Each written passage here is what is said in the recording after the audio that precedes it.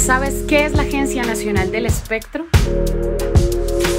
Somos los encargados de vigilar, gestionar y regular el espectro radioeléctrico. Suena bastante complejo, pero aquí va una sencilla explicación. El espectro es un recurso natural que permite el correcto funcionamiento de los servicios de telecomunicaciones.